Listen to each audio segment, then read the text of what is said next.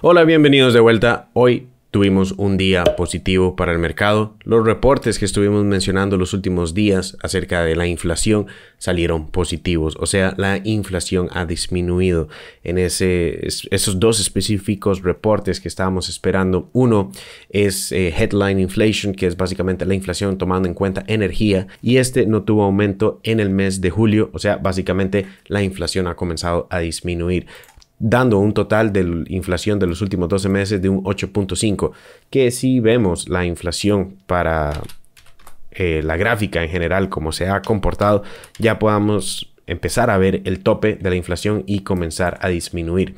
Si vemos la historia, no solamente la inflación suele disminuir muy rápido cuando llega a esos topes, puesto que como se aumentan las tasas de interés y se aumenta y se ha hecho bastante fuerte últimamente en los últimos meses, 75 puntos base, es ahora donde empezamos a ver pues las consecuencias de eso y consecuencias para bien, puesto que queremos que entonces la Reserva Federal tome esto en cuenta y disminuya las tasas de interés o al menos no siga aumentándolas al ritmo que lo ha hecho. No solamente eso, sino también core inflation sin tomar en cuenta energía y comida que se tenía un consenso, un consenso más alto de un 6.1, se obtuvo un 5.9. Entonces ambos reportes fueron positivos para el mercado y el mercado hoy inmediatamente ha comenzado a subir. SP500, habíamos mencionado que después de haber, de haber roto la línea de tendencia bajista donde se encontraba también en el máximo anterior, teníamos mayores probabilidades de continuar al alza, no solo porque es una tendencia fuerte alcista, no únicamente considerado un relief rally una vez afuera de la línea de tendencia del canal bajista, sino también porque hemos tenido mínimos mayores y máximos mayores. Así es como suele iniciar un mercado alcista, no únicamente un relief rally en este tipo que no tuvo un mínimo mayor, sino simplemente fue una corrida para continuar a la baja. Entonces, la probabilidad era mayor alcista y así fue no únicamente por los reportes, sino por acción del precio y lo que nos decía. Estamos en una zona en donde se activan órdenes eh, stop loss. Es un short squeeze y nos genera mayores probabilidades de continuar ahora a los 4200. Aquí es una etapa en donde ir en corto no es buena idea. Nuevamente aquí todavía había posibilidades de ir en corto manejando el stop loss cerca de esta vela Aún así, hubiese sido un trade perdedor porque muchas personas quieren ir en corto porque después de meses de ver un mercado bajista consideran que va a continuar. Pero la acción del precio nos decía lo contrario y así fue.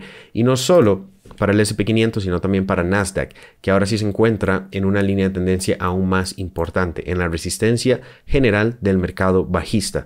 No únicamente salió del canal más rápido, de mayor caída, mínimos mayores, mayor volumen en las subidas, sino que ahora estamos por afuera batallando los osos. Y después de acá es una zona en donde se activan muchos stop loss, muchas personas que van en corto, se le va a suceder un short squeeze básicamente y nos puede llevar rápidamente a estos puntos eventualmente vamos a tener otro retroceso, porque es natural durante la subida, apenas termina un mercado bajista, apenas todavía venimos de meses bajistas, todavía el porcentaje eh, para los siguientes meses, el consenso es bajista, un 38%, un 30% alcista. Este otro 30% neutral, eh, neutral poco a poco se va a ir moviendo al 30% alcista. Una vez que ve el mercado subir, empiezan a tener mayor confianza. Y cuando este porcentaje empieza a colocarse en los 35 o hasta el 40%, es donde el mercado otra vez va a tener un retroceso. Porque naturalmente cuando la mayoría de gente se coloca en un sector, el mercado hace lo contrario. Siempre va a golpear, a dañar a la mayor cantidad de retail traders.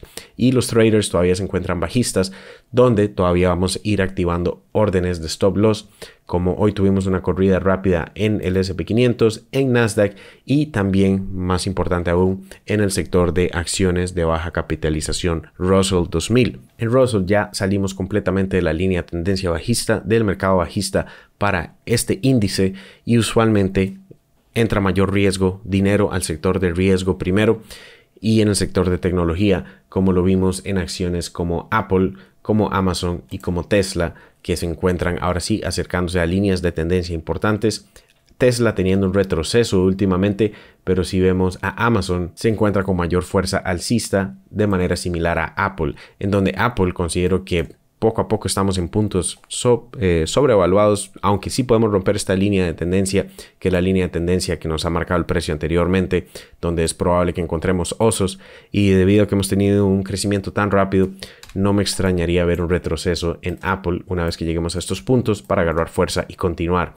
Si se desea, nuevamente aquí es posible tomar ganancias. Yo planeo tomar un poco de ganancias más en Apple para esperar un retroceso y si no hay retroceso lo movería a otras acciones también. Lo ideal sería no venir a buscar acciones que únicamente están subiendo solo porque los índices ya rompieron esa eh, línea de tendencia bajista importante como en el caso del SP500, que aún así sigue con fuerza alcista, sino buscar acciones que todavía no nos han dado esos crecimientos que podrían darlo en los siguientes días. Como habíamos mencionado, ARK Invest, el sector de innovación, también salió la línea de tendencia y todavía se encuentra en puntos en donde podemos encontrar todavía ganancias. Aún así, está subiendo el día de hoy, no es el mejor punto de compra, pero solo buscar hasta los máximos anteriores hay crecimiento de un 218%. Acciones dentro inclusive eh, como PayPal, como Zoom, todavía se encuentran en puntos subvaluados, puntos económicos con bastante campo de crecimiento hasta los máximos anteriores. PayPal un total de un 220% también. Shopify también en puntos de soportes anteriores, inclusive similares a los de la pandemia. Entonces, estas serían acciones que valdría más la pena y no únicamente ir a buscar acciones que están ya acercándose a las resistencias, puesto que es probable que tengamos un retroceso, más cuando el sentimiento del mercado empiece a tornarse otra vez verde, cuando todo el mundo vea otra vez que los mercados están creciendo, retail traders estarían entrando tarde y es donde vamos a ver un retroceso otra vez. Por eso, estas oportunidades pueden repetirse una vez más. Considero que el SP500, ahora que lleva una fuerza alcista, eventualmente cuando el sentimiento sea mayor alcista, vamos a acercarnos a estas resistencias y probablemente vamos a buscar la línea de tendencia alcista general para otra vez retroceder y serían buenas oportunidades de buy the dip. Y puesto que el mercado en general se encuentra alcista, el mercado tradicional Bitcoin también hoy tuvo un día verde. Bitcoin se está acercando otra vez a la resistencia y ha mantenido los mínimos mayores, que es lo que queremos ver usualmente después de generar un fondo. ¿Pudo haber sido este el fondo? Pues el precio nos lo va a decir conforme más tiempo pasemos, generando mínimos mayores, máximos mayores y si rompemos esta resistencia anterior, aún así eh, generando un máximo mayor al anterior, tenemos campo con un obstáculo de la línea promedio de 100 periodos y después de esto correr hasta los 28 mil es muy probable, siempre y cuando nos mantengamos creando estos mínimos mayores y a la vez de manera similar cada vez que tenemos movimientos al alza tenemos mayores barras de volumen que en los retrocesos, que es lo que queremos ver en una línea de tendencia fuerte, no únicamente en un relief rally que usualmente igual tenemos bajo volumen, pero las velas en retrocesos tienen mayores picos en volumen que las velas en crecimiento. Y es todo lo contrario en este caso. Tenemos velas de crecimiento con mayor volumen, velas en retrocesos con menor volumen, generando una tendencia alcista mayor, con mayor fuerza. En el caso de Ethereum es muy probable que, puesto que aún mantenemos la línea de tendencia bajista general, todo el movimiento que ha tenido Ethereum es por las noticias que se avecinan en septiembre de lo que sería el proof of stake, eh, los updates que va a tener Ethereum puede ser una etapa de comprar los rumores y vender las noticias, por lo que cuando nos acerquemos a estos puntos, y ya lo he hecho últimamente en el par Ethereum Bitcoin, mover porcentajes de Ethereum a Bitcoin para mí es una buena decisión, cada quien haga lo que quiera, pero prefiero hacerlo puesto que una vez que estemos cerca de la noticia es probable que muchas personas tomen ganancias en Ethereum y hay que tomar en cuenta que la tendencia en general en Ethereum sigue siendo bajista. Así que en general tuvimos buenas noticias Inflación parece estar llegando al tope, no solamente eso está disminuyendo rápidamente puesto que no hubo aumento para el mes de julio y esperaríamos que para los siguientes meses también haya una disminución. Podemos ir viendo también que el mercado ahora está considerando los siguientes aumentos de la tasa de interés ya no de 75 puntos base sino únicamente entre 25 o 50 puntos base, lo cual esto es positivo para los mercados para continuar creciendo.